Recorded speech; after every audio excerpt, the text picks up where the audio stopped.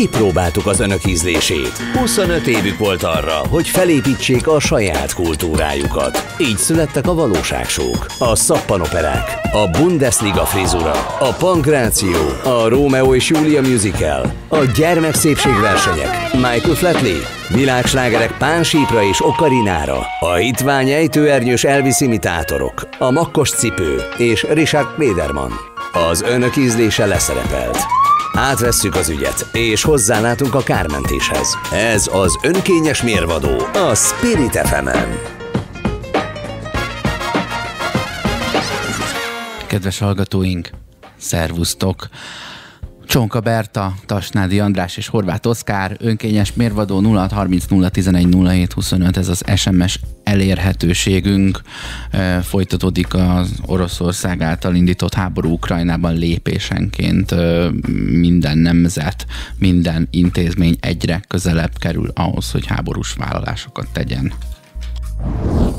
Az ukrán védelmi minisztérium közleménye felszólította a kievi lakosokat, hogy akadályozzák meg az orosz csapatok haladását a város utcáin, akár úgy is, hogy személyesen ukrán zászlókat lengetve állják el a harckocsik útját. Eközben kiderült, hogy életben lehetnek a kígyó szigetet védő ukrán katonák, akik azzal válaszoltak az őket megadásra szólító orosz hadihajónak, hogy be. Hős haláluk és önfeláldozásuk bejárta a nyugati sajtót.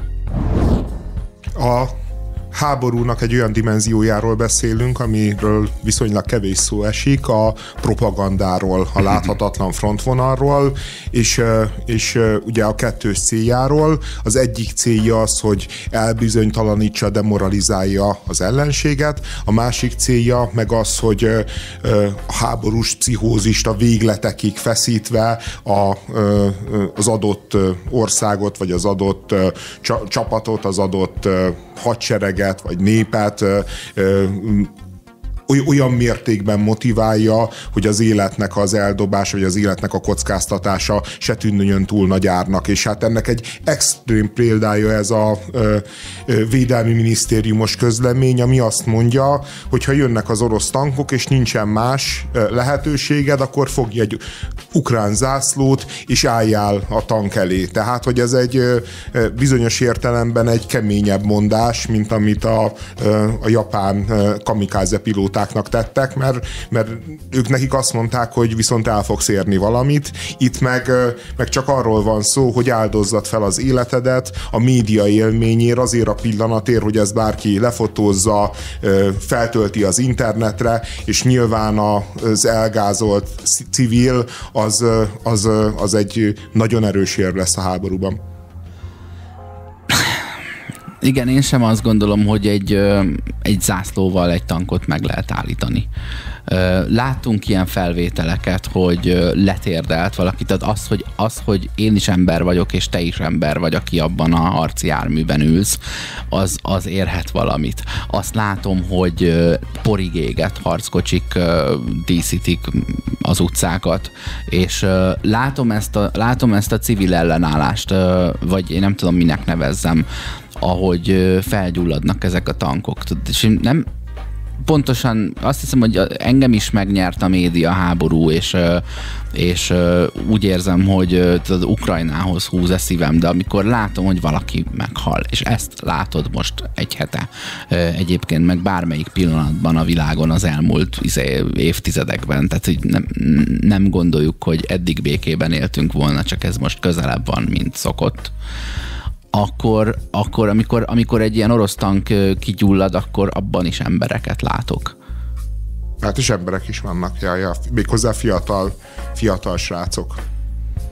18-20 éves srácok. Egyébként érdekes, hogy ez a taktika egy, egy helyen biztosan működött. Volt egy orosz ö, ö, harcoszlop, ami át akart haladni egy ukrán falun, és ö, kijöttek a falusiak, és ö, szembeálltak a tankokkal, és jöjjenek, és, és, és hát nem, nem volt a kezelő személyzetben meg az a fajta be, pszichopátiás gyűlölet, ami, ami kell ahhoz, hogy ilyenkor az ember a gázra lépjen, és szépen kihátráltak a faluból. Tehát, hogy ez a taktika elvileg működött, de, de hát valahol döbbenetes, hogy, hogy, hogy kiadni egy ilyen parancsot, vagy kiadni egy ilyen közleményt a rádióba. Mi kell ehhez?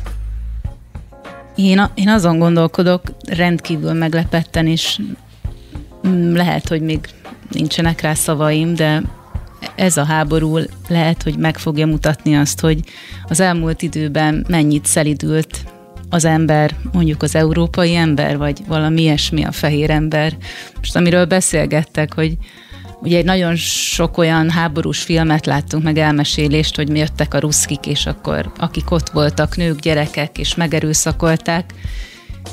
Ki tudja, hogy mennyit változott az ember tényleg az elmúlt időben, akár ezeknek a filmeknek és a történeteknek köszönhetően, hogyha most ilyesmi történne, akkor, akkor akkor vannak-e úri emberek? Vagy ugyanúgy ezek a ruszkik ugyanazok, és, és ugyanerre számíthatunk, ugye akár, hogy így jönnek, és megszállnak, és akkor egerőszakolnak mindenkit? Mert most amiket mondotok, egyelőre ott tartunk, hogy szimbólumokat használunk,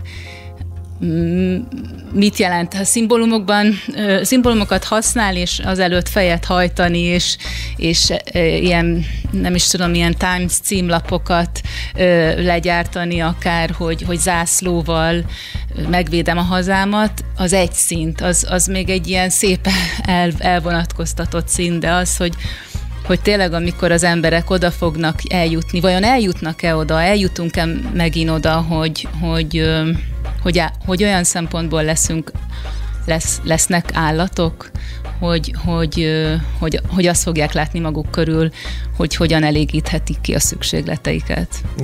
De ezt tudjuk, hogy így van. Tehát, hogy azok az orosz katonák, akik mondjuk Magyarországra jöttek, és, és tömegesen erőszakoltak, gyilkoltak, gondolj bele, hogy ők egy hat éves háborúból jöttek. Ők már mindent megéltek, és annak az ezerszeresét látták tucatnyi barátjukat elveszni, meghalni, ezerszer gyalogoltak be olyan helyzetben, amikor azt gondolták, hogy nem fognak visszajönni, nekik már az emberélet, az emberi méltóság, egy, egy nő személyes tere, vagy, vagy intimitásának a megsértése, az már, az, az már nem, nem, nem számított, és azért látjuk a amerikai csapatoknál is Irakban, hogy, hogy pillanatok alatt fe, fe, fel tudja ez a fajta barbárság ütni a fejét, és minél tovább tart egy háború, minél véresebb egy háború, hát ny- nyilván annál több ember vonódik be, ebbe.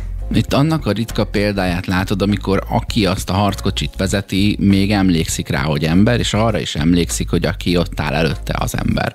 Azt hiszem, hogy nem sokáig lehet áldozat az egyik fél. Hogy tudod, ez ilyen hetekben mérhető, hogy ahogy a bajtársaid eltűnnek mellőled, ahogy a halálfélelem kimossa belőled az embert, és előveszi az állatot, úgy lehet, hogy a, a negyedik héten vagy a harmadik héten már átléped azt a vékony vonalat, ahol, ahol tényleg egy pszichotikus állapotban ö, leszakadsz a, a korábban ismert valóságról, és egy ilyen harci valóságba kerülsz, ahol a ö, ahol, a, ahol, ahol az, egyszerűen az, az motivál, hogy mindenki, aki a másik színei alatt létezik, nem hogy harcol vagy támad, az a te kiírtásodra tesz törekvést, és neked a feladatod az ő kiírtása. Nem véletlen egyébként, hogy modern hadseregek, azok az ősi időkben aztán meg végképp, de a modern hadseregek is folyamatosan próbálkoznak különböző pszichotikus szerekkel, amiket a katonáknak adnak, hogy a gátlásaiktól, a félelmeiktől felszabadítsák őket, és legyenek minél brutálisabbak, minél kegyetlenebbek, minél, minél, minél durvábbak a harcmezőn. Hát most az a helyzet, hogy olyan értelemben jól érzed, hogy, hogy még ez egy szerencsés szenárió jelenleg, ugyanis az oroszok egyrészt egy testvérnépre támadnak rá, másrészt a modern háborúknak a, a kimenetele azért az java, sokszor a médiában dől el, és nagyon-nagyon kell figyelniük arra, és figyel arra is a hadvezetés, hogy, hogy lehetőleg olyan nagyon kellemetlen képek le, ne legyenek, a nagyvárosokat eddig nem zúzták meg igazán nehéz tüzérséggel, de, de, de híradást erről, erről kapunk. De, de erről, igen, de most, most azt látjuk, hogy ilyen ö, több száz civil áldozatról beszélnek, ami iszonyú sok, de hát most gondoljunk bele, hogyha tényleg elkezdenék rendesen, tehát most, most az van, hogy az oroszok próbálnak úgy támadni, hogy a lehető legkevesebb civil áldozat vagy legkevesebb civil kerüljön életveszélybe, és így van 4-500 áldozat. Képzeld el, amikor majd nem fognak erre figyelni, hogyha oda eszkalálódik a háború. De ennek a kommunikációját azért alása a, az a néhány képsor több esetben is, amikor áthajtanak ö, ö, személygépkocsikon ezekkel a har- harckocsikkal.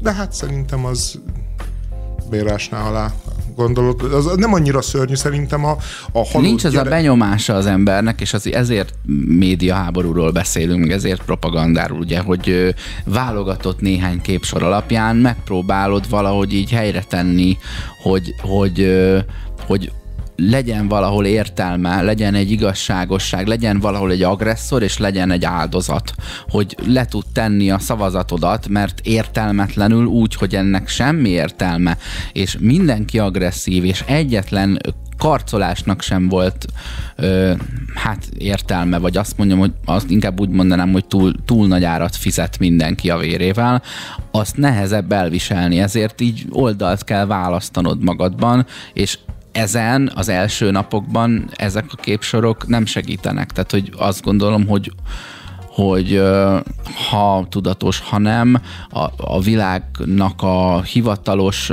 nagyobbik része Ukrajna oldalán áll. Ja, jelenleg. igen, az oroszok azok abszolút elvesztették. Tehát, az, tehát szerintem ők akkor nyerhették volna meg, hogyha megindulnak az orosz csapatok, valószínűleg erre is számítottak, és tömegével adják meg magukat az ukránok, és kivonulnak a városokban sok-sok ezer ember, és üdvözli a felszabadító ö, orosz hadsereget. Tehát, és azért erre volt... Egy nagyobb helyi orosz, ö, orosz ö, nemzetiségi támogatásra, meg üdvrivalgásra számítottak, gondolom, nem? Hát igen, elvileg az országnak a keleti része ugye az, az kifejezetten uh-huh. orosz nyelvű, tehát hogy szimpatizál Oroszországgal, tehát a, ne, nem is számított senki ilyen mértékű. Most nyilván egyébként ott nincs olyan, olyan nagy ellenállás, de passzivitás van. Tehát, hogy, hogy inkább az ukrán állammal lojálisak.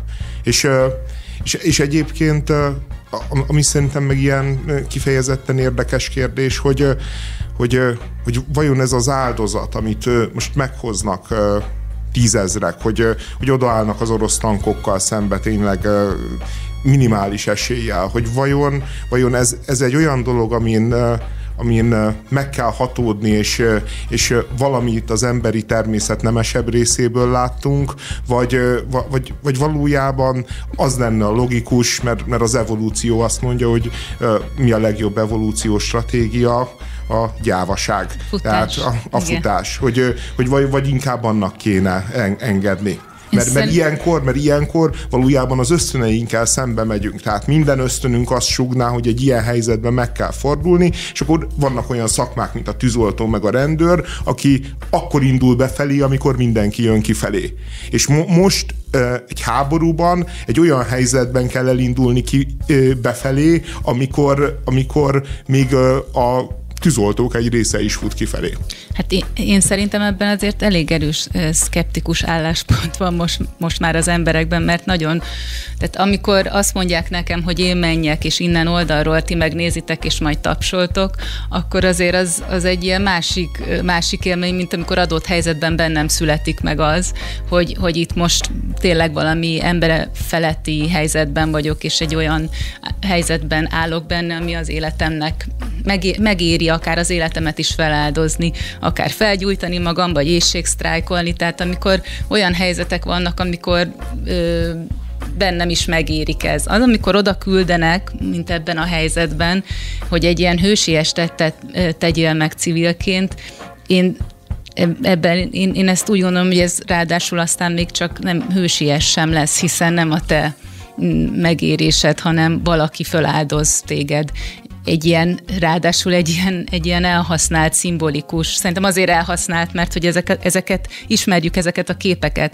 Ar- akkorról ismerjük, amikor valóban megtörténtek, tehát azért szimbolikusak ezek a dolgok, mert akkor tényleg valakiből előjött, és egy olyan helyzetben történt meg, és pont sikerült elkapnia. Most ezeket lekopizni itt a 21. században, ez már egy másik világ, ez egy másik, másik háború. Itt, itt nagyon furcsa egyáltalán az, hogy tényleg tényleg ö, embereket, tehát hogy, hogy ö, itt nincs szükség valahol, azt mondaná az ember, ahol mikor a, az artificial, intelligence ugye jön, jön, minden robotizálódik, és erről beszélünk, hogy már nem kell csinálnunk semmit, hanem a gépek Hát megoldanak nem kell, csak a célponton meg emberek élnek, és akkor ők nem drónnal várják az otthonukban a támadást, hanem személyesen. Igen, csak hogy civil emberek, civil emberek élnek, és nyilván olyan dolgokról van szó, amit nem a civil emberek döntési, tehát nincsenek döntési hmm. helyzetben, hanem, hanem más ö, szálak hoznak döntést. Ebben a helyzetben tulajdonképpen az élet van kiszolgáltatva, és számomra ezért furcsa, hogy berakunk, berakjuk ezt tényleg egy ilyen, egy ilyen romantikus képet, mint hogyha az most működhetne, hát dehogy is a robotok támadnak. A, számomra két dolog látszódik. Egyrészt a, azzal kapcsolatban, hogy ugye retteg attól az ember, hogy a, az orosz katona, hogy van egy ilyen mém. Azt gondolom, hogy a feljogosítottság mögöttük ugye messze nem az, mint hat év háborúzás után, illetve egy akkori akkori hatalmi erőhöz tartozó ö, címer vagy zászló alatt katonának lenni. Ugyanakkor ez a feljogosítottság, ez azt hiszem, hogy nem egy zéró összegű jászma, hogy ezt meg kell szerezni a másiktól, hanem ezt bárki létre tudja hozni. Értem ez alatt, hogy olyan szubhumán ö, kivégzések és ö, tettek közül talán 10-12, amit látsz a saját szemeddel, elegendő ahhoz, hogy azt gondolt, hogy feljogos, feletté jogosítva, hogy a másikat megsemmisítsd és állatnak kezeld. Tehát, hogy itt nem, nem az lesz, hogy az egyik feljogosított, a másik nem, hanem aki ott fegyverrel a kezében áll, nagyon kevés élmény elég, hogy felépítse benne ezt a, ezt a pszichózist. Ö, a másik, am- ami engem egyébként megijeszt, hogy azt látom, hogy így szépen lépésenként hogy olyan, olyan volt múlt héten, mintha higgadtak lennének a, hogy mondjam, a kívülálló felek, vagy a nyugat, vagy a még a távol nyugat. De egy picike agresszióra már lépnek egy kicsit, a következő, de bár legyen az bármi, minden nap történik elég dolog, hogy még egy kicsit beljebb mozduljanak, és egy picit így azon az úton járnak, mint a Breaking Badben a főhős, hogy ö, ő tulajdonképpen oda sem figyelt, és egy, egy lelketlen gonosztevő vált belőle az ötödik évadra. Hogy, hogy az ember nem figyel, hanem ilyen kicsiket lép, hogy ez azért, na ebből majd tanulnak, meg azért ezt jobb, ha úgy bemondjuk, és így záporoznak ezek a szankciókon felüli fenyegető, és egyre inkább az Uniót, vagy a Nagy-Britanniát, vagy az Egyesült Államokat involváló kijelentések, amik azt gondolom, hogy egyre kevésbé tudják valóban kívülálló külső félként tetszelegni, hagyni őket. De most kire minket. gondolsz, amikor involváló? Tehát ki, ki involválja Nagy-Britanniát? Ne, Vagy ő Nagy-Britannia beszél a, így? a brit Aha, miniszterelnök, azok, vagy a védelmi, vagy, vagy a külügyminiszterük, akiknek tudod, a, a, hogy mondjam, a nyilatkozatai külön agressziót, uh-huh. Mhm. vagy külön reakciót váltanak ki az orosz uh-huh. kommunikációban. De, de hogy ott tartunk, hogy láttam egy ilyet, hogy a hogy a kanadai orosz nagykövetségnek a nyilatkozata, ami, ami így, nyilván Kanadához, kanadai polgárokhoz szól, ugye megint felmerül a nácitlanítás, hogy azért ez kemény, hogy a náci kártyára hivatkozva, amit ténylegesen továbbra sem tudom hová tenni azt, hogy a rengeteg orosz a saját nyelvén nem járhat iskolába. Tehát ugye értem, hogy mi történt, de hogy a náci kártyára hivatkozva így kb. Ö, azt gondolom, hogy az arra kellene jó legyen, hogy ne ismétlődjön meg egy világháború. És uh-huh. úgy tűnik, hogy még nyitja a másik ajtót is ez a kártya.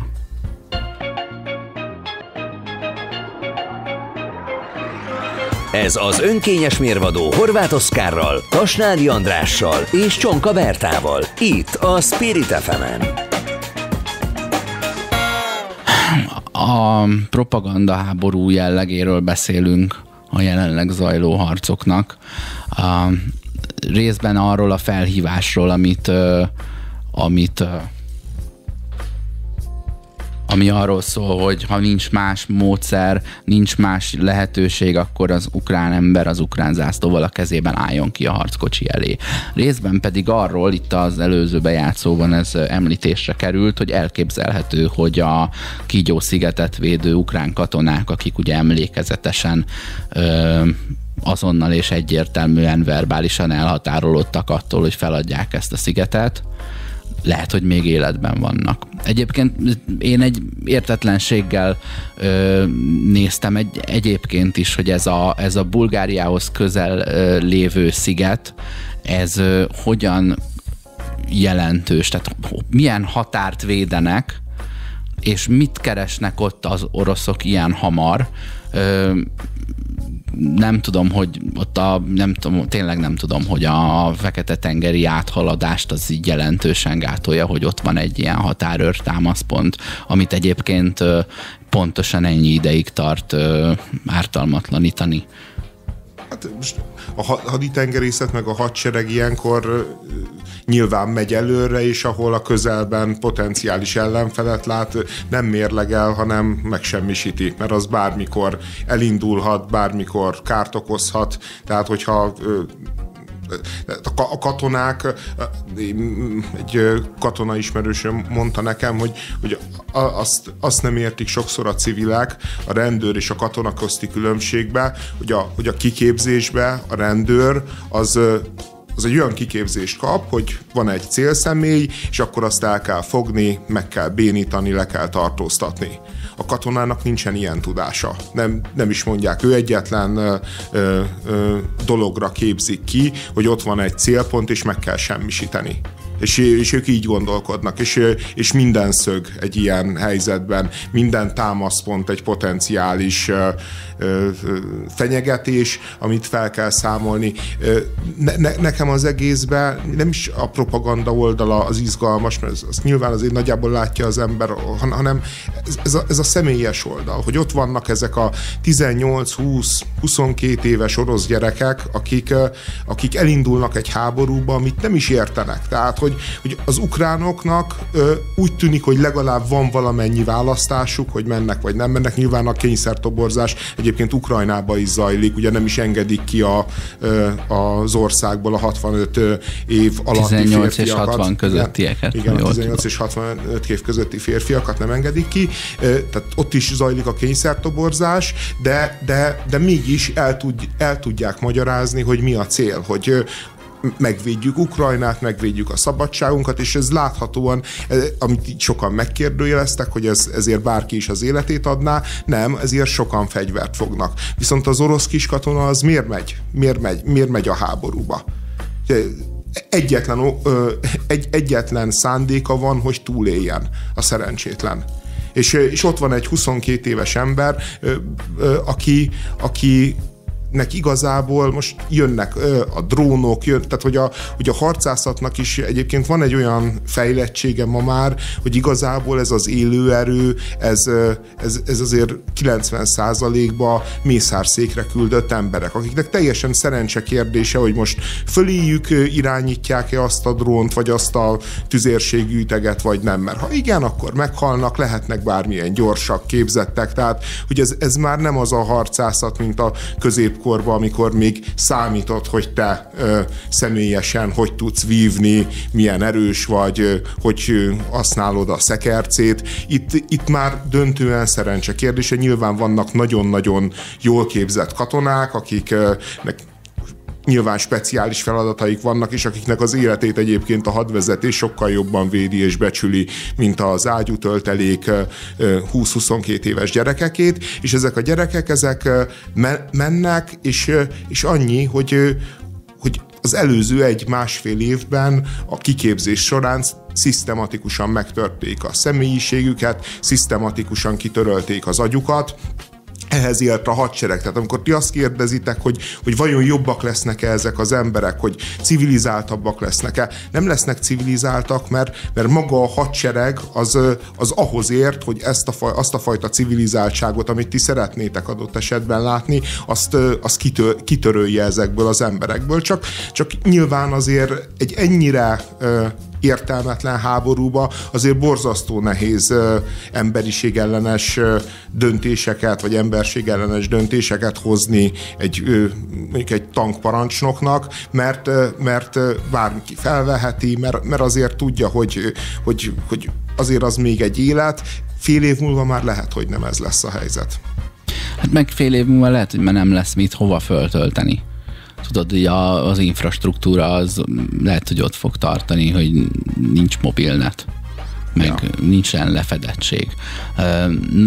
Most még elő tudod rántani akár egy rendőrrel szemben is így a szabad világban a telefonodat, hogy akkor rögzíted, és akkor legalább annyira számíthatsz, talán, de csak talán azért ezt is láttuk, hogy, hogy egy szabály jognak megfelelő erőszak intézkedésben lehet részed. Én, Utána én, már arra sem. Én, én egyébként a, ö, ö, az, az orosz katonák, mert az ukrán katonáknak egy kicsit, kicsit jobb azért ugye a helyzete, mert van valami magasztosan, miért harcolnak, és, és megmondom őszintén, engem is elkap ez a népmese élmény. Tehát én, én, is, én is azt érzem, hogy szimpatizálok ezekkel az emberekkel, mert, mert, mert, mert küzdenek egy iszonyú hatalom ellen, hősiességből, önfeláldozásból, csak így az emberbe ott van, hogy, hogy majd véget ér a háború, és, és majd tíz év múlva oda vissza fogjuk nézni, hogy így tényleg volt értelme? Tényleg az az ukrán állam az olyan ukrán állam lett, ami becsüli a polgárait, tiszteli a polgárait, ad, ad, ad nekik reményt és ö, ö, olyan életet, ahol boldogulni tudnak, vagy csak szegénységet, nyomor, bűnözést, oligarchákat, mint amit ö, azért az elmúlt ö, évtizedekben általános volt. Hát a, akkor ne is kifejezetten az ukrán lakosságot ö, vegyük elő Ukrajnában, hanem az orosz lakosságot. Tehát ha itt most ö, helyreáll valamiféle rend, ö, akkor mire számíthatnak az ott élő oroszok, vagy ha egy orosz típusú rend áll helyre, mire számíthatnak az ott élő ukránok. Tudod, a békét nem hiszem, hogy progresszíven szolgálja. Az világos, hogy, hogy a jelenlegi helyzetben sem élhető megfelelően az ottani élet. De hogy valóban egy ilyen, egy ilyen vérontásból felébredve mennyivel ö, lesz könnyebb ugyanúgy egy orosz és egy ukrán szomszédnak egymás mellett élnie? És globálisan azért ezek ilyen nagy kérdések, azért abban sokat változott az elmúlt 30 évben Európa és a világ is, hogy most akár elmegyünk táj, tájföldre is, ezek a nemzetek így szabadon ö, utazgatnak, és kialakultak ilyen különböző buborékok, ahol, ahol egészen más összetételben találkozhatunk nem, nemzetekkel, nálunk két héttel ezelőtt Airbnb-ztek oroszok, és rá egy hétre, és adta, hagytak egy csomó ajándékot, meg ilyen tök jó fejek voltak, tehát hogy, hogy azért egy másik világban élünk, mint annó, tehát hogy itt, itt egy óriási globális változás történt. Itt a, a nemzetállamok nem úgy nemzetállamok, ahogy voltak, itt van egy, egy nyugati ö, jólét, egy globális struktúra, egy McDonald's mindenhol, ahol, amiben az volt a közös hit, hogy, hogy a jólét felé törekszünk, és a béke a, az, hogy ezt fenntartsuk, hogy prosperáljunk, hogy, hogy meleg lehessen, és minél érzékenyebb emberek, és a férfiak is érzékenyek lehessenek, és tanuljunk, és edukáljuk magunkat, és ebbe a világba egyszerűen ö, most az, hogy, hogy így visszajött egy ilyen hát egy ilyen meglepő ö, fordulat, amiben azt hiszem azért is meglepő, mert hogy pont azt gondoltuk, hogy de hát minden jól van. Csak hogy milyen alapon van minden jól, hát anyagilag, tehát hogy így megvannak a, megvan a gáz, meleg van, Mm, épülnek dolgok, persze vannak szegény részek, de hogy olyan, mintha minden, mindent onnan néznénk, hogy a GDP úgy alakul, hogy a Oroszország is gazdaságilag partner, meg az EU is, és milyen jó de hogy hol van a lélek, hol, van, hol vannak a vallások, hol van az az egész orosz örökség ebben a képben, ami ö, valójában ott van ezekben a kultúrákban, tehát a nagy keresztény kultúra és a nagy ortodox, és, és ezek a gyökerek, ezek olyan, mint hogyha elmúlt 30 évben, mint hogyha így nem lettek volna, mert hogy a, a gazdasági szempontok annyira erősek lettek volna, ami alapján valójában szinte azt mondhatnánk, hogy béke is lehetne. Mi azt láttuk, hogy a plázában béke van és rend. Így van. Csak a, csak a plázában van az, és mi van, a, mi van az otthonokban. Akkor mit néztünk be, ugye? Hogy akkor, mm. mi, akkor mi maradt ki ebből? És innen nyilván nehéz megérteni, mert a plázából nézzük. Én a, én a sereg és a kiképzés és a, a bakalétnek az ilyen személyiségromboló és állatiasító hatásának az ellenére még mindig azt gondolom, hogy valahogy máshogy kell számolnunk a generációs különbséget. Tehát ez a a, a, ez a tizenéves generáció, vagy ez a 20 éves korának elején lévő generáció teljesen más erkölcsel rendelkezik, és azt gondolom, hogy előnyére.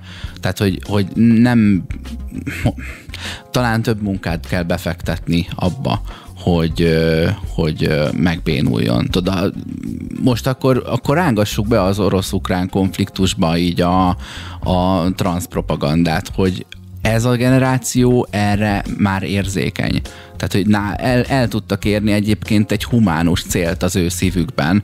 Szerintem ezek a gyerekek másképpen működnek. Őket is el lehet rontani, és izé a, az emberséggel fölmosni az aszfaltot. Biztos vagy bennük, abban, hogy ez a, ez a fiatal generáció, amelyik Doomon szocializálódik, meg FPS-eken, és minden nap szórakozásból kinyír mondjuk ezer zombit, 500 különböző ez az katonát. El, ez az elmélet a izé, videójátékokkal, meg a ninja filmekkel, mert a 80-as évek végén megtölt. Tehát ő ott levezet erőszakot nem feltétlen felvesz, de tény, hogy az összes olyan hülye, aki iskola lövöldözés, iskolai lövöldözéseket ö, ö, hajt végre a végén, az természetesen FPS játékokkal játszott előtte, csak tehát fordítva nem igaz ez, hogy az FPS-ből következik az, hogy hogy erőszakosabb leszel. Mint ahogy a, a TikTok videókból se következik, hogy nem leszel erőszakosabb. Én csak erre akarok hmm. utalni. Tehát, hogy ha azt mondjuk, hogy ez a kulturális minta nem fertőzi meg az ember alapvető természetét, akkor nyilván a másik fajta kulturális minta sem biztos, hogy megfertőzi. De én tovább megyek a, a, a mi ami most, most van a világban, és, és amit most látunk, hát az, az azért azt átéltük már ezerszer. Most is megint fiatal emberek, fiatal gyerekek mennek a frontra. Azon gondolkodtatok, hogy már például, hogy ez miért van? Miért? Tehát azt mondod, hogy a, ennél a fiatalabb generációnál jó, jobbak az esélyek. Miért nem 40-50 éves, 60 éves embereket küld Putyin a frontra? Egyébként most már a háborúnak egy csomó része nem is annyira megterhelő fizikailag, nyomni kell gombokat, stb. Miért 40-50, miért nem a 40-50-60-asokat, akiknek még egy rosszabb erkölcsük van? Eszük ágában nincs azoknak menni. Szerintem ők már tudják, hogy az a nagyon szar élet, amit mindig szarozunk, az, az rendkívül jó. Igen, igen. Erről, erről van szó, hogy egész egyszerűen egy idősebb embert már nem lehet erre rávenni, nem lehet besorozni, nem lehet kiküldeni olyan egyszerűen a frontra, nem fogadja el vakon a parancsot, mint amit még egy fiatal emberrel, akinek nyilván a személyisége az, az még épülőben van, a, és, és ugye azt a személyiséget rombolták le, annak a személyiség, azt a személyiséget traumatizálták a végtelenségig, akár a kiképzés alatt, akár a fronton, ő, ő meg lehet bármit tenni meg lehet bármit tenni. Az idősebbekkel nem, és ezért aztán az van, hogy miközben tök logikus lenne, hogyha háború van, akkor küldjük először a 60-asokat, az 50-eseket, ők már családot alapítottak, mégiscsak éltek egy csomót, va- valójában nem olyan tragédia, mint egy 18 vagy 19 vagy egy 20 éves ember, és ne is csak a most személyes, még akár a személyes tragédia felől közelítve is igaz, amit mondasz, hogy nem akkora tragédia. Most nem azt jelenti, hogy nem, a, nem tragédia, hanem hogy igenis a kettő állapot között van különbség. A fiatal nincs annyira beágyazva, ö, szociálisan esetleg, meg tudod, így nincs mögötte annyi, de hogy, de hogy az újraépülő társadalom szempontjából nem akkora tragédia. Tehát, hogy a háború van, akkor azt az országot majd újra meg kell tölteni, miután az áldozatokat eltemették. És ha azok, hogy mondjam, azok vívják meg az első csatákat, akik már létrehoztak egy családot, akkor, akkor, akkor azt a, a korfát, vagy nem tudod, ezt a, a populációt szimbolizó, szimbolizáló fának nem a törzsének mész neki, hanem az ágainak először. Igen, és ez lenne a logikus, de mégsem. De ez ilyen embertelen, hogy erről így tudok beszélgetni, szóval nem szívesen mondtam, csak de, de, azért ezért mi, megfigyelném. De ebben mi embertelen van? Hát most amikor íg egy ház, akkor is azért a gyerekeket viszik ki először, tehát az emberben logikus módon van egy, van egy ilyen típusú prioritás lista, hogy, uh-huh. hogy látja, hogy ki az, aki, akiben még ott van a remény, aki még nem élt semmit, nyilván azt menti először. Uh-huh. Tehát, egy... Persze, csak egy 40-50 éves ember mm, ben már nem tudod olyan gyorsan kapcsolgatni az Isten haza család, haza Isten család, család, haza Isten, tudod rulettezni ezekkel az értékekkel, mert kialakult benne a saját értékrendje. Még az a mm, furcsa helyzet van, ugye, hogy, egy, hogy így a 10, 18-20-22 éves gyerekekről beszélünk, amiknek ugye ott vannak a, az, a, a szülei, vagy az anyjuk, akik így 10-18-20-22 éve nevelgeti azokat a, a gyerekeket, és hogy maga ez a jelen helyzetben nyilván úgy, hogy én, anyuk, én is anyuka vagyok, és van két fiam, mennyire durva, hogy így ez a szempont, ez a női szempont, vagy anyai szempont mennyire keményen kimarad a, ebben a helyzetben. Tehát, hogy így megmondani azt, hogy, hogy annak az anyának van-e bármiféle beleszólási helyzete, persze felnőtt korú, ugye ezt mondjuk, hogy felnőtt korú a, a gyerek, de ez a, ez a nézőpont, ez akkor is eszembe jut, amikor például a, a szavazatokat ö, egy emberhez ö, ítélik, tehát egy felnőtt embernek egy szavazata van. Én nekem felmerült az, hogy annak az embernek, akinek gyerekei vannak, annyi szavazata legyen, vagy annyi egysége, annyi értéke legyen a szavazatának. Amennyi kiskorú gyerekei Amennyi vannak, kiskorú, így érted? van, hiszen hmm. pont ezért a társadalomban, akár ilyen helyzetekben hiszen is én fölnevelek annyi, ilyenkor. így van, annyi életet. Aha. Most ez így azért illik össze, mert hogy az az anya nevelte föl a nemzetnek Egyébként azt a, a két Fidesz, gyereke. Fidesznek volt ilyen javaslata, és ilyen örjön örjöngő, örjöngő düvel ment neki a, az ellenzék is, és, és a magyar társadalomnak nyilván az a fele, amelyiket reprezentál. Tehát, Igen, vol, aha, tehát a maguk, ilyen... akik, akiknek vannak gyerekeik, azok nem akarnak több szavazatot? Hát nem, azt, azt érezte egy csomó társadalmi csoport, hogyha hogy most, most azért van egy hogy egy status quo. Egy status quo. Tudjuk, hogy a nyugdíjasok a legerősebb társadalmi csoport, aki mondjuk a választáson érvényesíti a maga szempontjait, és aztán a gyerekesek, aztán a fiatalok, stb. És ezt a státuszkódnak a megváltoztatása miatt elképesztő dű, meg, meg, meg, meg, meg harag ment erre a javaslatra, úgy, hogy azért a, a Fidesz nem szokott gyorsan visszavonni javaslatokat, azért ezt elég gyorsan visszavonták. Tehát ez, ez még a jobboldali szavazóknak se tetszett. Hát ugye egyrészt képzeld el azt, hogy akkor ennek az elvnek a mentén, aki nagymama, az minden unokája után is kap egy szavazati pontértéket. Másrészt pedig ö, nem úgy lett ez megfogalmazva, hogy akinek van gyereke, annak más felet ér a szavazata, akinek nincs, annak egyet. Hanem ahány, gyere, ugye legalábbis te most így, így dobtad fel ezt a, ezt a modell. Ez viszont azt jelenti, hogy azon kívül, akinek 7-10 gyereke van és nagy családos, mindenki más kevesebb szavazati joggal rendelkezne, mint a nagy családosok. Tehát kiemelni a nagy családosokat nem nyertesnek ebben, csak tudod a legerősebb fegyver vagy szavazat nála Mindegy, hogy a nagy családosokról van-e szó vagy nem, csak ők kevesen vannak, és a mindenki más, aki ezt így felméri, hogy hát én ezzel nem leszek nyertes, mert a bárhány, bármennyi gyerekem van, n gyerekem van, mindig tudok egy n plusz egy gyerekes családot, ezért hozzájuk képest az én szavazatom innentől kevesebbet fog érni. És a többség az a többséget ez a matematika érinti. Szerintem innen a felháborodás.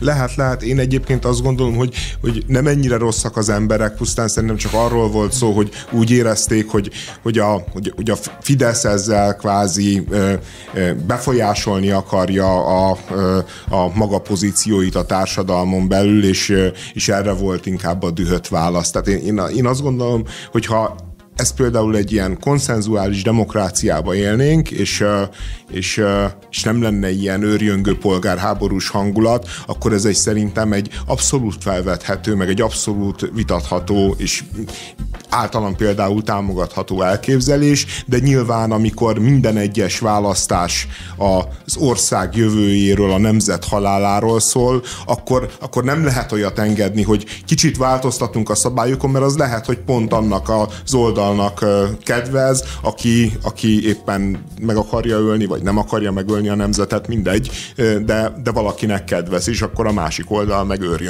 Igen, ebből a szempontból belegondoltok az idősek pozíciója, mennyire durva, hogy olyan ilyen helyzetekben ők döntenek, olyan olyan dolgokról, amiben ők már nem olyan, szem, nem olyan szinten vesznek aktívan részt. Tehát ez, Hát ez is olyan dolog, hogy a következő, lehet, hogy a négy évig lesz érvényes, amiről dönt, aztán utána visszaáll az előző rend, és a, né, az a következő négy éve neki pontosan ugyanolyan, ugyanannyira számít, mint egy 20 éves embernek a következő négy éve. Nehéz azt a relativizációt, ami egyébként matematikailag jogos, hogy ő lehet, hogy 13 évet él már csak, míg másnak még 60 évet kell a megszavazott szabályok között majd leélnie. Ezt nehéz számon kérni rajta, mert nem holnap készül ö, eltemetni magát, hanem majd évek múlva. Tehát így saját magára érvény, ugyanannyira érvényesnek érzi, és ebben a bizonytalanságban, ahol ö, ahol szabályokat hoznak, majd visszavonnak, államforgákat hoznak, és alkotmányt neveznek át alaptörvényre, és még az országos sem úgy hívják, mint előtte. Úgy van vele, hogy talán ez a döntés arra a rövid időre szól, amikor én még halálfull életben leszek. Én még azt akartam mondani a Kígyó-szigettel kapcsolatban, hogy nekem azért tetszik végtelenül ez a történet, mert egyrészt van benne egy hihetetlen hősies pillanat, ugye azt mondják a, a védők, hogy nem, mi kitartunk, nem adjuk meg magunkat. Ezek után megölik őket, ami egy dráma, egy iszonyú tragédia. Ez egyébként bejárja a világ sajtót, óriási szolidaritási hullámokat kelt Ukrajnának, majd kiderül, hogy élnek, valahogy mégis túlélték a támadást. Lehet és van, egy, van egy csoda, és van egy csoda is a, a, a történetben, és hogy élnek ezek az emberek, hogy, hogy szerintem ilyen jó sztori ebben a háborúban nem lesz még Hát egy. csak válogast ki az igazságot belőle, írja nekünk az egyik hallgatónk, hogy a hírfogyasztás totális tanácstalanság oltáráról írom ezt ide. Említettétek, hogy a városok bombázása nem igazán úgy néz ki, ahogy azt a hírekben látjuk. Utána mondtátok a tank által elgázolt autót. Hosszú elemzések szólnak arról is, hogy nem is tank volt, és valószínűleg ukrán harckocsi vesztette el az irányítást a körforgalomból kifelé. Ez picit ilyen jó, rossz tanuló felel, de értem. Tehát, hogy cáfolják a kígyószigeti legények halálát is, és jelentek meg olyan hírek is, hogy a kievi toronyház meghibásodott ukrán rakéta, ukrán rakéta áldozata lett. Nehéz idők ezek a hírfogyasztónak. Tehát, hogy minden olyan hírnek, amely, amelynek nagy érzelmi impaktja van, megérkezik a, a cáfolata és kimagyarázása szerintem nincsenek hírek. Tehát, hogy háborús helyzet van, nincsenek hírek, itt a, itt a hírek is a, a háborúnak a részei, és, és úgy kell felfogni őket. Épül két narratíva, az egyik narratíva egy, egy, egy romantikus szabadságtörténet egy kicsi nemzetről, amelyik egy közepes nemzetről egész pontosan, aki próbál ellenállni Putyinnak és a, a gonosz birodalomnak, és ez egy nagyon-nagyon átélhető, és szerintem egyébként sok valóság alapot tartalmazó Based történet. on true story. Oda Igen, van írva. Ja, abszolút, és, és ami működik hozzá, és am, am, amit hozzáraknak, az ha igaz, ha nem, magát ezt a történetet erősíti. Megpuhítanám a beszélgetés végét. Mit szólsz az a Mandiner cikkhez, mi szerint a világ egyetlen Putyin hasonlása attól fél, hogy megölik? Ja igen, figyelj. E, ez milyen abszurditás. De, de ez milyen kemény, hogy gondold el, hogy így uh, éltél Lengyelországban, mit tudom én, az elmúlt húsz évben, uh, ilyen nagyon-nagyon népszerű, nagyon-nagyon jó életet, mindenki meghívott uh, sörözni, elmentél a kocsmába, csinálták veled a szelfiket, hát ez te úgy nézel ki, mint a Putyin. a fickó egyébként, tehát egy Igen. vállalkozása van. Igen, van egy, nem, ja. nem cirkuszi Putyin hasonlás. És, és két héttel ezelőtt így bekopogtatott a, a történelem az életébe, és azt mondta, hogy mostantól az az arc, amit viselsz, az, az, egy, az egy célpont és, és bármikor leköphetnek, bármikor megverhetnek, bármikor gúnytárgya lehetsz. Ez egy nagyon durva személyes tragédia egyébként. Ez az önkényes mérvadó. Kórház? Ez az önkényes mérvadó. A kórház? Nem. Hát teljesen meg vagyok zavarodva. Jó, ezen mondjuk segíthetünk. Ez az önkényes mérvadó a Spirit fm -en. Nem szolgálunk, formálunk. Az önkényesben a továbbiakban arról fogunk beszélgetni, hogy mi a beszélgetés célja, azaz, ha ez nem lett volna érthető, a beszélgetésünk célja az lesz, hogy megfejtjük, megfejtsük általánosságban a beszélgetések célját.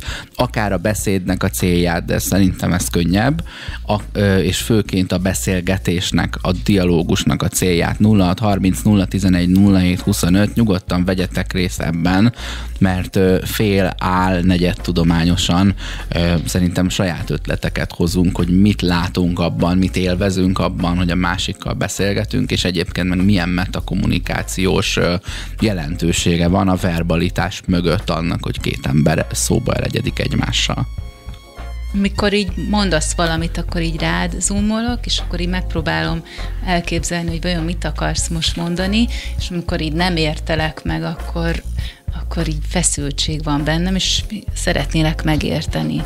És mondod tovább, tovább, és akkor jó felé haladok, vagy nem, de megkérdezzem, vagy annyira jól belemerültél már a, a beszélgetésbe, és nem akarlak megszakítani, mert valahova tart a, a, a történet, uh-huh. ugye, és akkor elveszted a fonalat, de, de meg nem mondod, mondod, ha na, monologizál valaki. Monologizál valaki, oké. Okay. hogy ennek érdekében Kösz, hogy félbeszakítottam a monológodat. Nagyon jó, tehát akkor itt már is az volt, hogy, hogy megértetted, hogy valamit más csináltam. Tehát én nem beszélgettem, hanem elkezdtem kifejteni valamit, ami közben nagyon jó érzés volt nekem, de te már úgy érezted, hogy itt oda megyek, ahova te uh-huh. már nem tudsz jönni. Na most akkor megfogalmaztál rögtön valamit, mégpedig azt, hogy az egyik tesz egy kijelentést, mondok valamilyen állítást, és a, az egyik célja lehet a beszélgetésnek, hogy te visszakérdez, és finom hangold azt, amit én mondtam, vagy jobban megértsd azt, amit mondtam. Ha én nem voltam elég szabatos, vagy engem nem ismersz elég jól,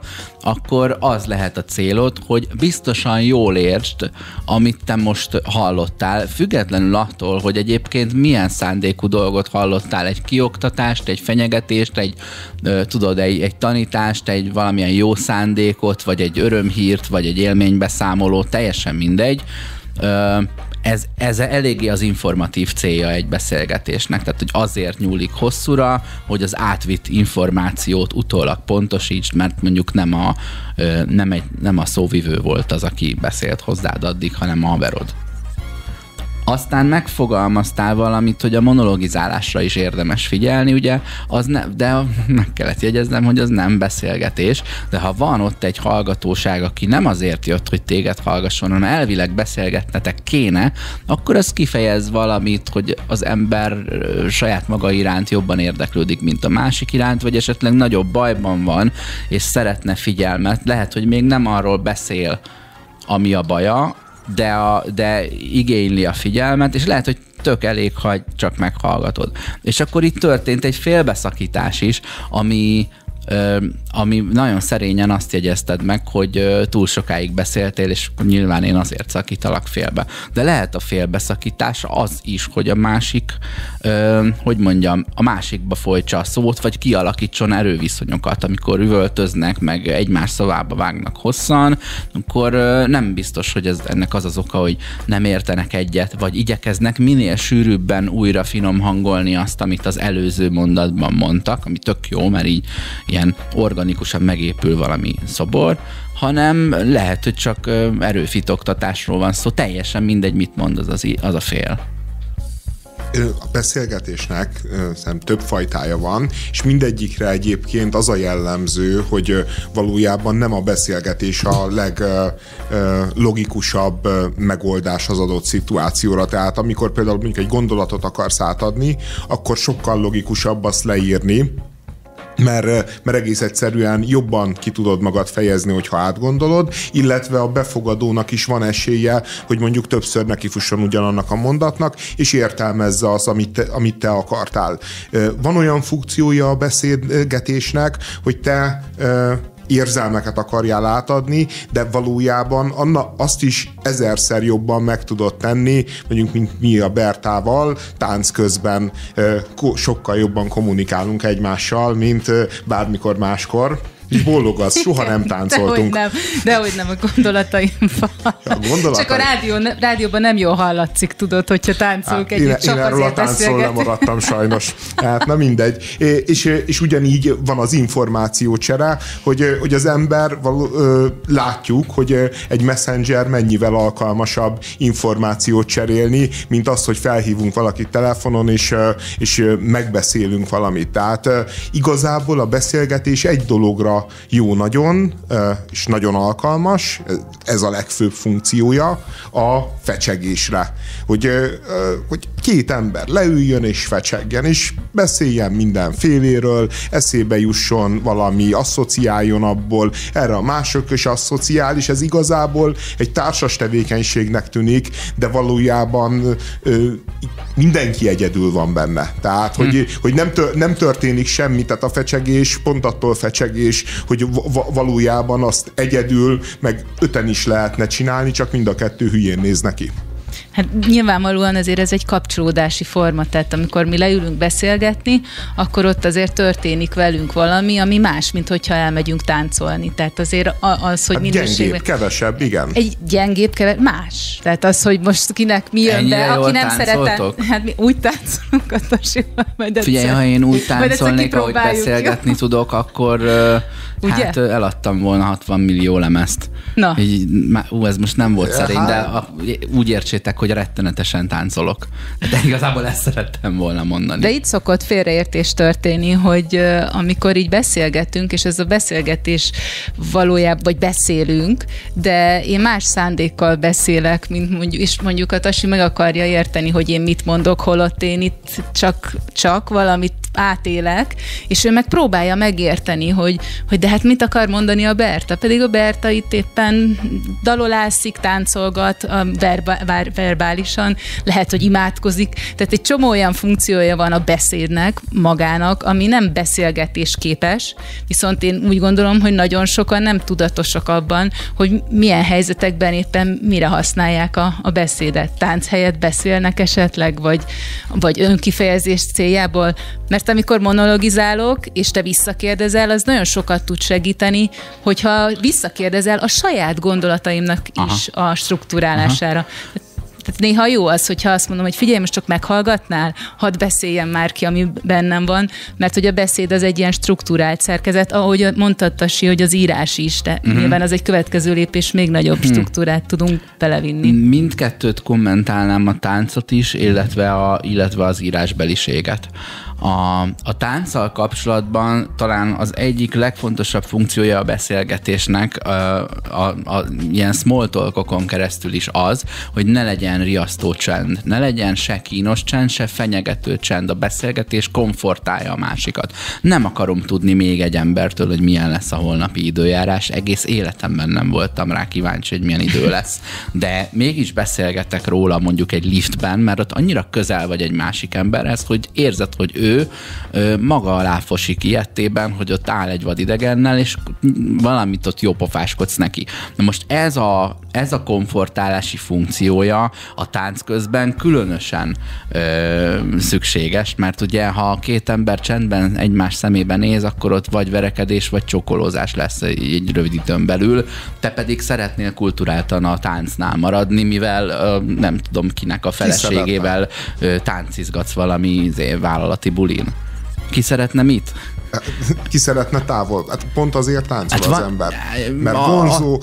Jó, vannak függ, ilyen nők, akik azt mondják, szó. hogy nem, hogy ők, ők csak szeretnek táncolni, de, de, de valaki másnak a nőjével ilyen. táncolsz. Egy, tudod, vannak ilyen kis pajtabulik, és utána verekedés is van belőle, hogy valaki nem fogta vissza magát, és nem az volt, hogy jó van, persze, táncolhatsz egyet a feleségem. Ő ezt rögtön úgy értette, hogy viheti a szalma mögé de ha beszélgetnek közben, akkor az egész egy picit ilyen formális lesz, és és, elveszi a figyelmet arról, hogy ez egy testi aktus, és nem annyira tudod, nem szív be az a vákum, hogy hát akkor itt esetleg lehetne valami mást is.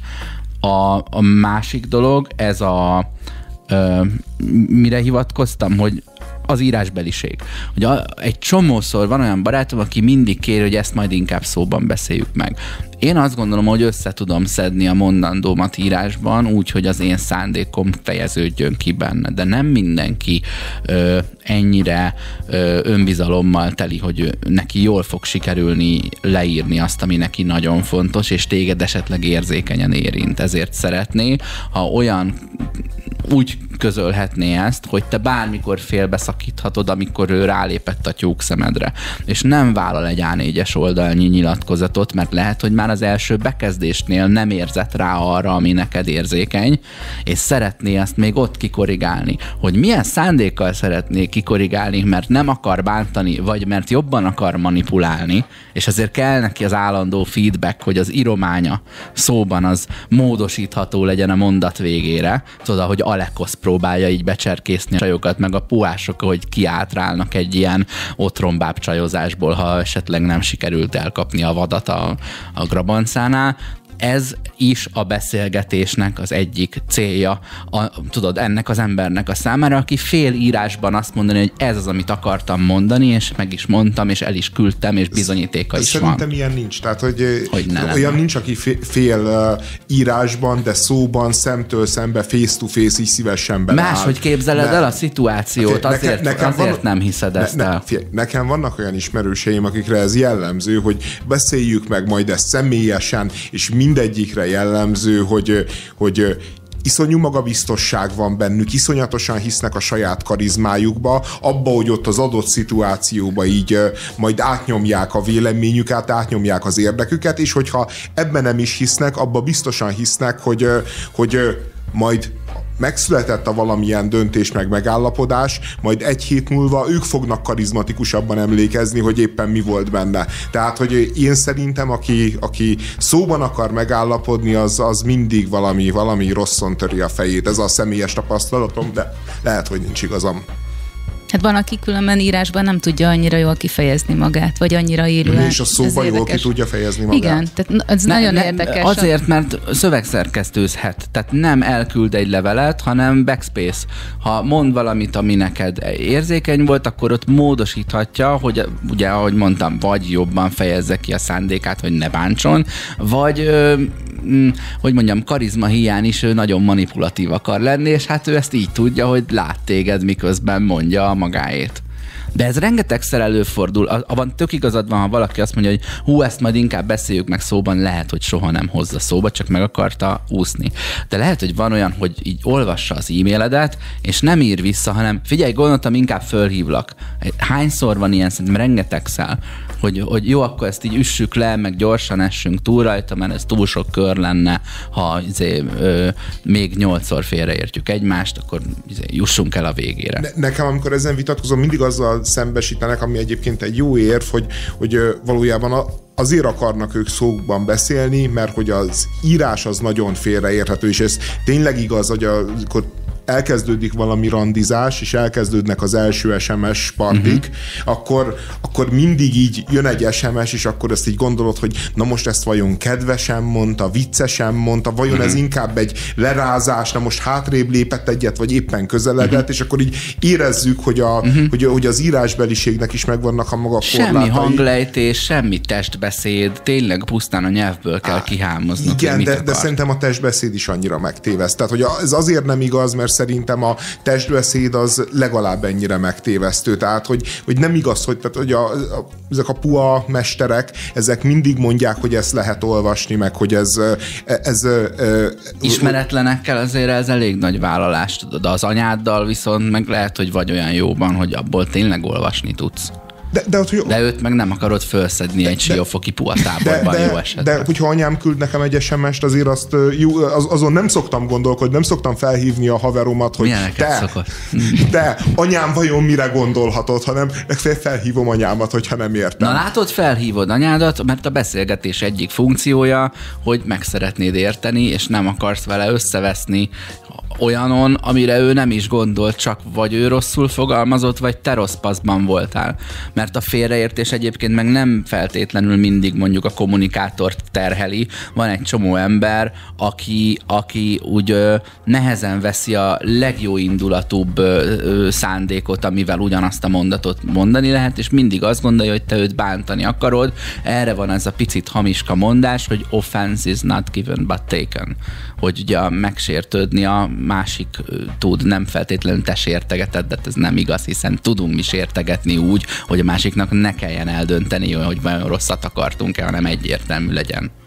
Na, itt jön például a beszédnek egy olyan funkciója, ami Roland Barthes azt mondta, hogy a nyelv legalább legalábbis a szerető nyelve nem olyasmi, ami egyszerűen semleges módon beszél a világról, hanem olyas valami, ami reszket a vágytól, leírja, hogyan dörzsöljük beszédünket a másik beszédéhez, mintha ujjaink helyett használnánk a szavakat, vagy újak lennének szavaink végén akkor ő az ujjait oda akarja dörzsölni a másikhoz. Szóval ez, ez a táncnál még egy direktebb dolognak érzi ő a verbalitást. Szerintem ez nagyon jó kis példa, vagy egy ilyen jó, jó kép, uh-huh. mert a, amennyire, amennyire sértegetni tudunk, itt most nem csak a szerető nyelv, ugye akkor ott van a másik nyelv is, amivel mennyi, mennyi dolgot meg tudunk szavakkal, meg mondjuk hanglejtéssel, hát itt már táncolunk a tasiban, ugye pedig csak mondtad, de hát én már, már belepirulok, és mi, milyen ereje van annak, hogy ezt így kimondjuk.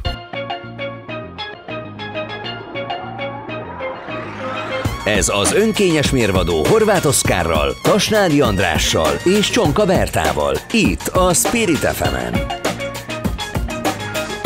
Megfejtéseket keresünk és ajánlunk arra, hogy mi a beszélgetés funkciója írja nekünk Rose, szervusztok, a beszélgetés gondolatok cseréje egymás között, esetleg érzelmek közlése, a fecsegést elítélem, talán a csevegés jobb szó erre. Hát nem tudom, hogy mennyi különbség, mind a kettő egy picit ilyen madárcsergés hangutánzó, hogy valójában ott az a funkciója, ami a madaraknak az énekén gének egy rejtett funkciója, hogy amikor ők csendben vannak, akkor veszélyt éreznek, és amíg csipognak, a, nyilván annak körülbelül annyi funkciója van, itt vagyok, és szeretek szaporodni, vagy ez az én fészkem, de a, a csend az, ami diszkomfortot szül bennük is, és bennünk is erről beszéltünk az előbb a tánc közbeni beszélgetés kapcsán. A másik, másik hallgatónk B írja nekünk, hello, a beszélgetés nekem egy szellemi műfajnak tűnik, mikor valami katartikusat, érzelmit adsz át szavakkal, ami lelki, az mintha nem beszélgetés lenne. Próbálom elképzelni, hogy költők a katartikus tömör mondataikat mondják egymásnak, de ezt nem érzem beszélgetésnek. Uh-huh. Hát ott ugye mekkora fegyverrel készülsz a beszélgetésre? Azért van abban valami abszurd, amikor valaki, ö, volt ez a Szulejmán című sorozat a, a TV2, számomra rettenetesen ízléstelen ilyen túlkapásokkal, hogy ott szinte versben beszéltek ilyen, ilyen ö, véresen romantikusan, ahogy, ahogy nem beszélsz, de persze, ha úgy beszélnél egy nőhöz, aki éppen most szállt le egy ilyen kis fiákerről, vagy valami hintóból, hát az az öletbe ájulna ettől. És akkor itt térnék vissza Bert a, a Roland Barthesnak a példájára, aki így az iménti idézetedben újak helyett a beszélgetés dörzsölte a másikhoz.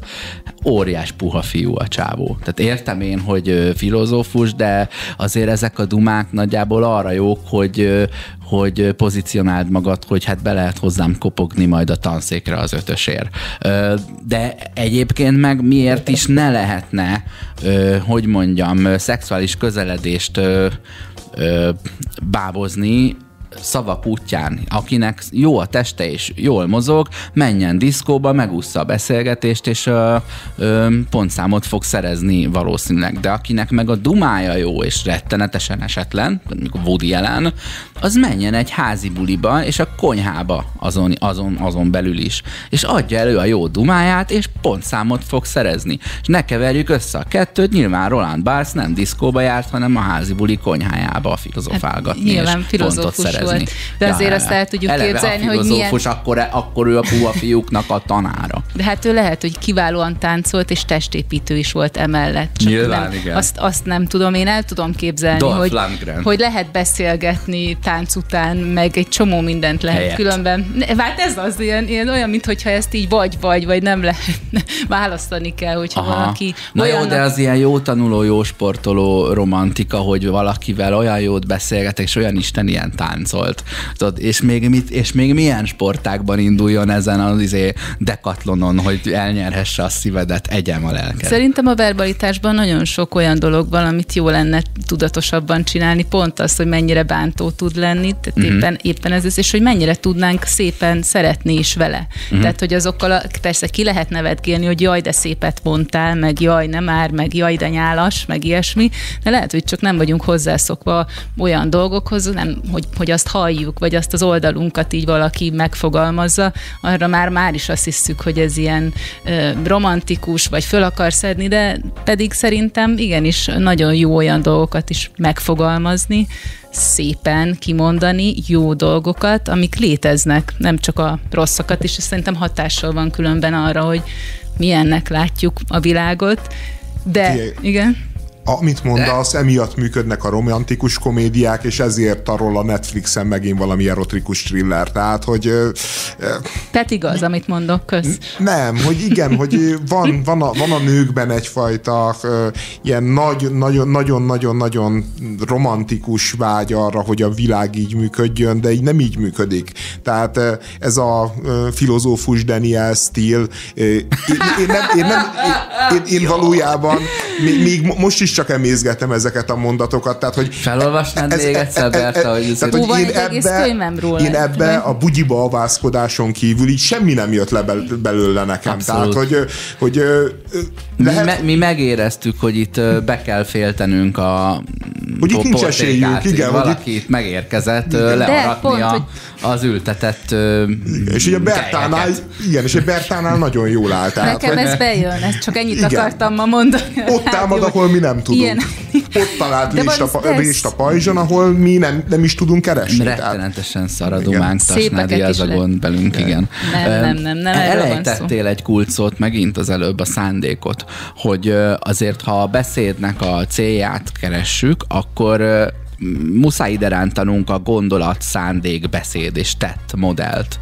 Ugye, hogy hogy, le, hogy helyesen gondolkodsz és hogyan szemléled a világot, hogy a szándékod a másik felé helyese, hogy ez ebből mit fejezel ki, és az szinkronban van-e a szándékoddal, és aztán a tetted szinkronban van-e azzal, amit kifejeztél. Ha ez bárhol hamis, akkor ez az egész művelet és a mögötte álló személy korrupt. Az a fegyver, ami a beszéd a kezedben, az lehet úgy egy kés, hogy meggyilkolsz vele valakit, vagy vágsz neki egy szelet kenyeret, és enni adsz neki.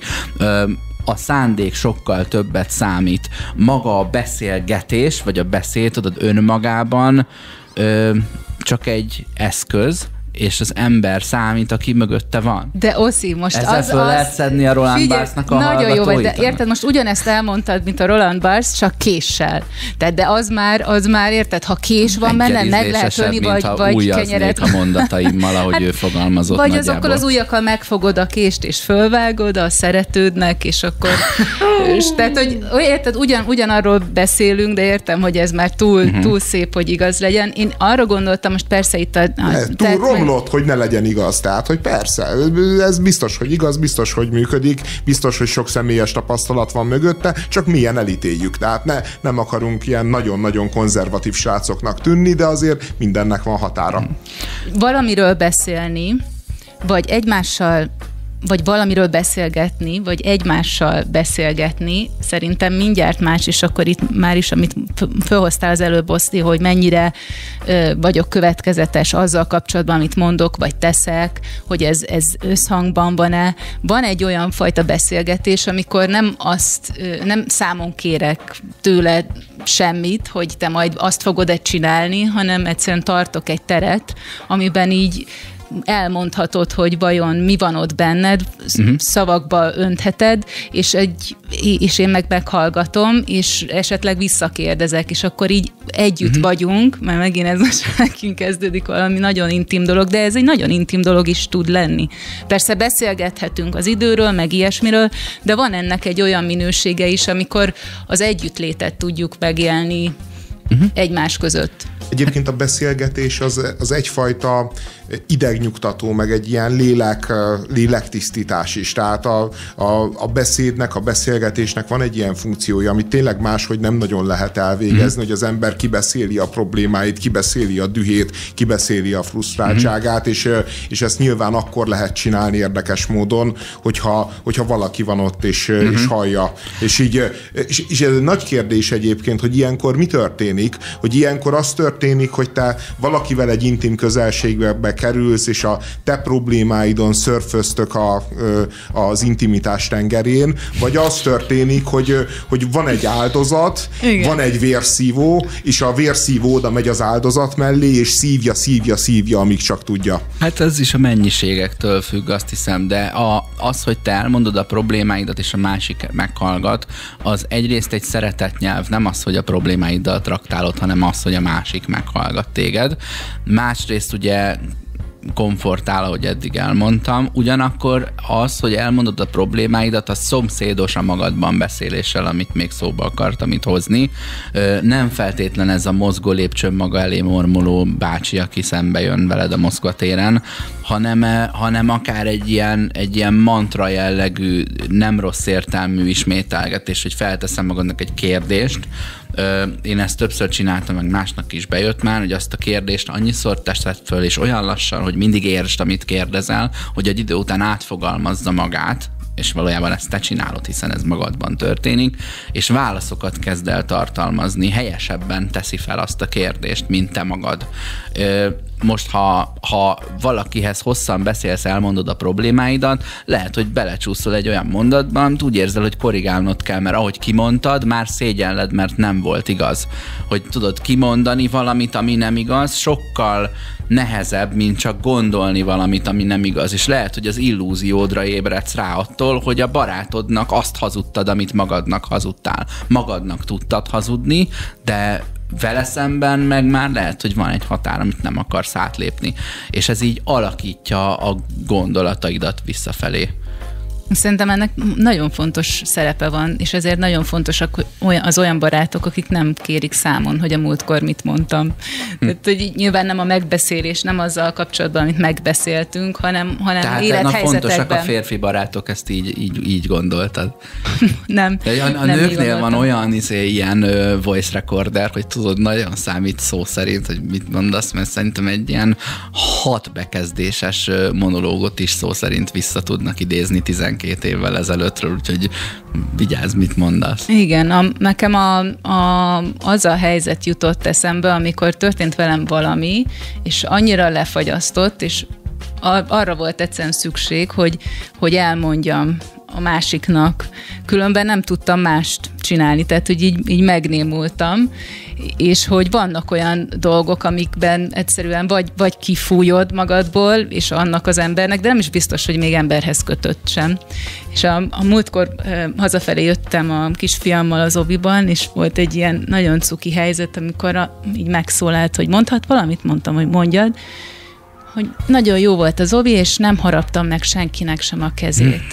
és akkor ebből így akkor átnevettünk, amikor így, ez például pont az a sztori, Milyen pont csukott, az a helyzet nem? volt, hogy így igen, pont az a helyzet volt, amikor így el kell, vele történt valami olyan, ami tudja, hogy arra, amiatt én, az engem érint, vagy valahogy kötődik hozzám, és ezt el kellett mondani ahhoz, hogy ő tud, ut- utána egy térben tudjunk lenni, hogy ez a, szerintem ez a szinkron is, tehát a beszédnek nagyon fontos szerepe az is, hogy szinkronba kerüljünk, tehát amikor megkérdezem, hogy hogy vagy, az nem feltétlenül csak mm. udvarias dolog. De ez protokoll, ez, ez ilyen... nagyon durva, hogy ez olyan, mint a fax hang, tudod, hogy felveszi a, a kapcsolatot a két fél, ugye, ö, ö, van, van a ha már a beszéd szándékát mondjuk kutatjuk, akkor a mondatok modalitása tökre segíthet ezeket így ö, helyre tenni, hogy van kijelentő mondat, meg van kérdő, meg mondjuk óhajtó, kötőjel, figyelmeztető, felkiáltó.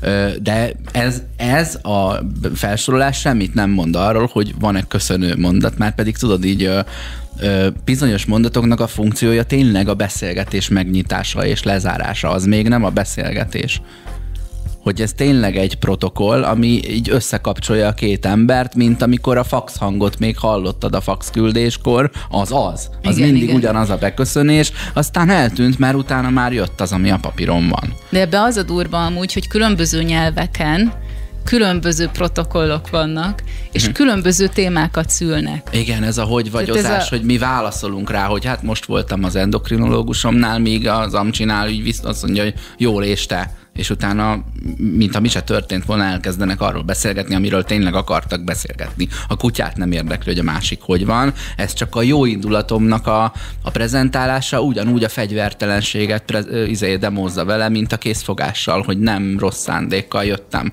és megint kimondtam azt, hogy szándék hogy ez tök sokat számít, hogy a gondolat, a szándék és a beszéd és a tett hogy függ össze. A beszédnek lehet ö, ö, mondjuk ö, célja, hogy, szere, hogy kifejezze egy tett iránti vágyát, de lehet, hogy egy már megtörtént tett, tehát a múltban lévő tettet magyaráz vele, megpróbálja kimagyarázni. Ugyanígy a szándékát kifejezi a jövőben, vagy magyarázza a múltban. És ugyanígy a, a nyilván ez már szűkebb réteg, de erre, erre mutatott rá a hallgatónk, hogy a gondolataidat is kifejezheted, de ha a másikat az sérti, akkor utána magyarázhatod. Ez érdekes, hogy a gondolatok hogyan sérthetnek, ugye ez szerintem hasonló az érzelmekhez. Tehát az őszintességben egy-egy gondolat ami megszületik, nyilván válogatsz a gondolataid közül, de az őszintességben az csak egy gondolat. Az egy struktúrált gondolat. Én nagyon szeretem a gondolataimat így engedni, hogy vannak. De ha beszélsz a gondolatodról, az már nem gondolat, hanem beszéd. Azért sért. Amíg gondoltad, nem sértette, De hiszen miért- nem De gondolatolvasó. miért? De figyelj, de miért? sé- Tehát, hogy azért, mert, miért az olyan, mintha miért pont most valamit. osztod meg velem ezt? Ah, most ezt azért mondod, mert úgy gondolod, Na hogy jó, izé jó, mi? jó, értem, de akkor itt már megint az van, hogy a másik látja bele a, a, azt, Persze, hogy, pukkancs hogy, hangulata van, vagy hát eh, pukkancs élete, és Hát az akkor ember, ilyen. embereken nagyon sokszor látszik, hogy mit gondolnak. Tehát az, az, azért az egy elég általános dolog, hogy így mondasz valamit, és akkor így rád néznek, hogy te barom. És nem mondják ki, de hát pontosan tudod, hogy ezt gondolják, és még azt is tudod, hogy igazuk van. De kérdeztél már így vissza ilyen helyzetbe, és akkor kiderült, hogy, hogy teljesen nem azt gondolták. Nekem sok Nem, ilyen. elnézést kértem, és által, általában azt gondolták, igen. Mondjuk El, külföldön. elnézést kértél valamiért, amit nem követtél el, csak hogy a másik jobban érezze magát? De biztos, hát elkövettem. Hát biztos valami olyat mondtam, ami bántó volt, ami miatt ő, láttam a fején, hogy ő kellemetlenül Mhm. érzi magát, rosszul érzi magát, és mindjárt elkezdtem szabadkozni, mert nem akartam megbántani.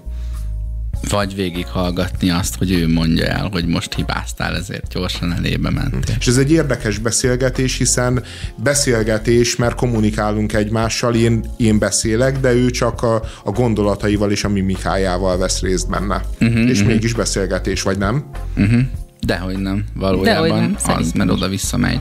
Ugye itt a beszélgetésnek ö, ö, nem csak a beszéd az eleme, hanem az a, az, az oda-vissza történő ö, pattogása a szónak. És ebbe beletartozik a pofavágás is. Tehát, hogy azért mondtam, hogy egy, a, hogy mondjam, a kifejezendő tartalom finomítására alkalmas, és ezért fordul hozzá néhány ember, aki nem szívesen írná le véglegesen, amit gondol, hanem látni akarja közben az arcodat, és picit annak megfelelően alakítja, vagy manipulatívan, vagy szeretetből, hogy, hogy kell ehhez az arcod, hogy áll, minden szó közben visszacsatolást kapjon.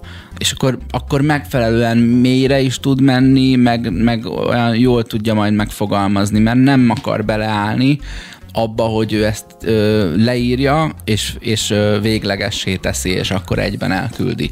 Ha egy emberhez beszélsz, érdemes is ezzel az eszközzel élni. Nyilván, ha ezer emberhez kommunikálsz, vagy ö, egy millióhoz, akkor nincsen lehetőséged minden mondat után, hogy kiállsz egy tömeg elé, és így nézed az arcokat, hát maximum az első sorban tudod valakiről leolvasni, nem tudsz ahhoz az egy emberhez beszélni. De ha tényleg egy emberrel beszélgetsz, akkor akkor ez egy oda-vissza dolog, és a, a, a pofavágás az ebben egy mondat talér fel. Igen, de hogyha mondani valód van, nyilván az az a helyzet, ahol nem beszélgetni akarsz. Tehát a beszélgetésben pont az a lényeg, hogy a másiknak is van reakciója, uh-huh. tehát a dialógus. Hát meg akarod osztani, vagy rá akarsz kérdezni, hogy neki is megvan ez az élménye. Nem is biztos, hogy el akarod mesélni, hanem arra, abban reménykedsz, hogy amit most mesélsz, arra azt a másik már rég tudja és akkor egymás kezébe csaphattok, hogy ugye? Hát vagy tanácsot kérsz, hogy esetleg te voltál már ilyen helyzetben, tehát azért itt elég sok minden dolgot ki lehet cserélni, anélkül, hogy át kellene élned.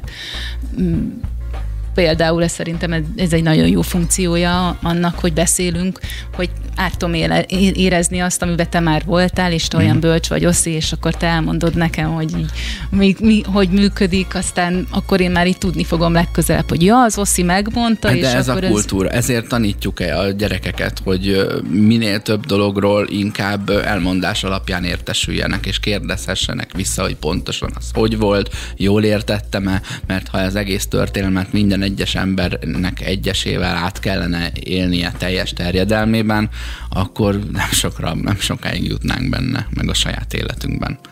Azt írja a hallgató, a beszélgetéssel voltak éppen magunkat keressük, aztán a másikkal közös referenciapontokat, hogy csillapítsuk azt a fájdalmat, hogy igazából egyedül vagyunk a világban. A kettő jó magasról nézve ugyanaz, írja Juli ez tök jó gondolat, az is, hogy igazából egyedül vagyunk a világban, meg az is, hogy igazából soha nem voltunk külön a többi embertől. De mind a kettő egy ilyen érvényes megfigyelés sajnos, de szellemileg egyedül vagy a világban, és lelkileg nem. Hát attól függ, ezzel, nyilván ezt lehet, ezeket lehet, ezeket a pozíciókat váltogatni. Szerintem azért fontos filozófiát meg gondolkodni, tanítani a gyerekeknek, hogy amiket mondanak nekik, azokat át tudják gondolni ők is, és végig gondolják, hogy nekik hogy ők ebben a nagy kulturális masszában, amit örököltünk, hogyan szeretnének kapcsolódni hozzá, tehát akár hogyan csináljanak dialógust a saját életükből, így a kultúrán belül mert hogy jó sok mindent megtanítanak nekünk, aztán, aztán hogy lesz abban nekünk, hogyan lesz nekünk abban, mi az, hogy nekünk, de hogyan lesz mégis egy saját élményünk az életünk. Van még nálad valamilyen idézet Roland Barthes-tól, hogy kimossuk egy picit a puha fiúskodásból? Mindjárt megnézem. Ugye ő erről még nem tudhatott, erről a kifejezésről Egyébként sem. a beszélgetés nem akkor igazán beszélgetés, tehát nem azt keresed véletlenül, amikor a beszélgetés öncél. Tehát amikor azért beszélgetsz, hogy beszélgetsz, tehát vagy fecsegés, van egy, vagy egy gondolatcsere, vagy egy pszichoterápia, vagy valami ilyesmi, de amikor nem következik belőle semmi, nem következik, hogy majd találkoztok, nem következik, hogy majd szexeltek, nem következik belőle, hogy közös üzletet alapítotok, hanem, hanem csak az következik, hogy, hogy ezt a kozmikus hogy magányt, lény hogy ezt a, igen, hogy ezt a kozmikus magányt így feloldjad. Aha. Nem? De sokszor áthívod vendégségbe a barátaidat, nem filmezni fogtok, enni fogtok valószínűleg, de a közben is beszélgettek, és tudod, hogy végig beszélgetni fogtok, de nem készülsz témákkal, és nem úgy hívod át, hogy gyertek már át megbeszélni a valamit, gyertek át, mert jól fogjuk érezni magunkat, mert fontos, hogy halljalak beszélni, és így, így üljünk a tűz körül egy picit együtt, mert mi nagyon kevesen ülünk egyébként a tűz körül. De, de is nem rontott nagyon a világon, amikor megjelent így a randizásba a mozi? Meg a ilyen nagyon durva hangerejű rock koncert? Nem rettenetes egy idióta dolog elmenni moziba első randizni, és tudod így azt a, körülbelül annyi, annyi taktikai előrehaladást tudsz elérni, hogy egy ilyen vállon átdobod a kezed, vagy hát mondjuk akinek így a popcornos dobozzal vannak élményei, annak gratulálok, de, de De közben meg a rock koncert az ugyanaz, mint a diszkó, hogy ott viszont a, tudod, a testi a kommunikációban igaz, erősebb igaz, vagy, igaz. meg jó a mozgásod, meg egyébként is ezt, a, ezt az extatikus, ilyen törzsi élményt, hogy hangos Ezt zene, együtt mozgunk, együtt üvöltünk. Igen, meg a- hogy nem biztos, hogy én fogtam meg a segget, szerintem az, azért az egy jó közeg a, a, a, a testi közeledésre. Nyilván egy verbális embernek, meg Roland ö, azért nem a mozi. Viszont a mozi után van, Válasz. viszont a mozi azért jó, mert van közös élmény, amiről viszont már lehet beszélni. Hát csak Egy- hazakíséred, és nem beszéltek róla semmit, ha közel lakik. Messzire kell menni moziba, eddig ezt tudtuk meg a mai műsorból. Találtál valamit? Nem, nem, nem tőle. hoztam, nem tőlem. Akkor újra olvast fel, mert hát az annyira jó volt. Ne, ne, nem, nem maradjunk idéz, Barnes idézet nélkül. De nem, nem, nem szeretném gúnyolni itt a szavakkal, a beszéddel, kigúnyolni szegény Roland Barthes. E, e, egész egyszerűen öm, De ez most ez téged tényleg bánt? Mm. Vert a neved már de ennyire lelkedre. megdörzsöltétek a szívemet, vagy így a, a Roland Ő Barthes. dörzsölgette az ujjaival, meg a szavaival. Nem, Nem, Elmond, elmondom nektek még egyszer, és tényleg hozni fogok majd még akkor, mert kivettem egy egész könyvet ezzel kapcsolatban, és nagyon jó dolgok vannak benne. A nyelv legalábbis a szeretet nyelve nem olyasmi, ami egyszerűen semleges módon beszél a világról, hanem olyas valami, ami reszket a vágytól. Leírja, hogyan dörzsöljük beszédünket a másik beszédéhez, mintha ujjaink helyett használnánk a szavakat, vagy újak lennének szavaink végén. Hát Ja, ez ilyen. Tibold és Merkúció izé, heve, heves vitája, tudod, de a, a, azt festi fel, mintha mindenki ilyen elképesztő színvonalon beszélgetne, hogy azt esetleg érdemes leülni és hallgatni. De hát magának azt, hogy megérint, érted, az értelem és az, az értelem, hogy megérint, tehát, hogy valamilyen szinten hozzád ér, mint a szaglás is. Tehát itt most az a, a, uh-huh. azt is lehet, megérzed a szagomat, és a szavaim is valamilyen szinten hozzád uh-huh. érnek. Most az, hogy szerelmes, meg reszket a vágytól értem, de ebben az az érdekes, hogy ez egy olyan érzékszerv is lehet, ugye, mint a bőr, uh-huh. vagy, a, vagy a, különben azt mondja, hogy a nyelv bőr. Tehát ott azért ez nem annyira... Ez egy elég jó SMR fel, felhangú megállapítás, hiszen egy ilyen, hogy mondjam, egy érzéki választ vált ki egy szellemi ö, impulzus, mondjuk. Így van, és például a kutya ezt így nem tudja megcsinálni, tehát hogy ez egy eléggé emberi dolog. Két ember tud így beszélgetni, egy kutya meg tud nyalogatni, de, de azt, a, azt a beszéddel így hozzád szólni nem tud. Jó, hát bárcsak uh, Roland Barthes is uh, azt mondta volna, hogy meg akar nyalogatni, lehet, hogy többször összejön neki, de hát uh, nem akarom bántani, de egyszerűen kívánja. Tanulni kell tőle, nem bántani. Tanulni, Igen, tanulni. igen, kukacpuhafiúk.hu az Instagramon, nem a mi oldalunk, de azt hiszem, hogy ott tudjátok a folytatását És olvasni. felelősséggel használjátok, amit Bársztól tanultok, tiszteletet a másik embernek. De igen, igen, nem illik úgy viccet csinálni egy filozófusból, mint az Oscar, meg itt a környezet. Én igazán nem akartam. Sziasztok!